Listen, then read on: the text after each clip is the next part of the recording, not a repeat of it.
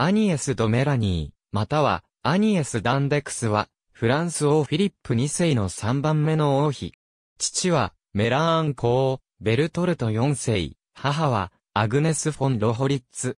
姉に、シレジアの守護聖人として知られるヤドビガがいる。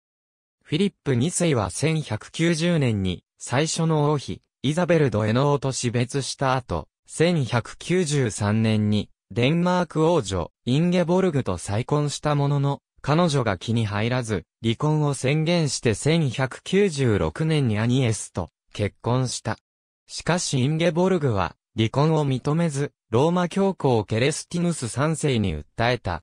結果、この結婚は無効とされたが、フィリップ2世はそれを認めず、なおもアニエスを王妃とした。その後、イングランド王ジョンとの対抗上、教皇の支持を求めることになり、やむなく1201年に、表面上アニエスと別れた。アニエスは自分に飽きたせいで王に捨てられたと思い込み、悲嘆により病にかかり、同年のうちに若くして、王との三人目の子、ジャントリスタンの出産中に死去。ジャントリスタンも、生後感もなく溶接した。アニエスを愛していた、フィリップ2世は、大変悲しんだとされる。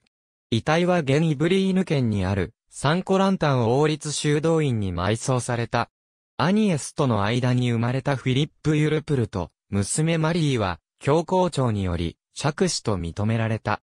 マリーは、ブラバント公、アンリー一世と結婚した。